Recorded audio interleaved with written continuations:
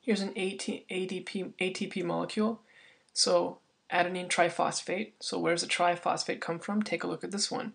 It's triphosphate group here attached to a carbon here, which is again in this glucose or ribose uh, circle attached to the uh, the nitrogen or adenine. This is the you know the amino group attached to it, adenine. So that's something you have to keep in mind. This is very important for energy and, and Krebs cycle and glycolysis.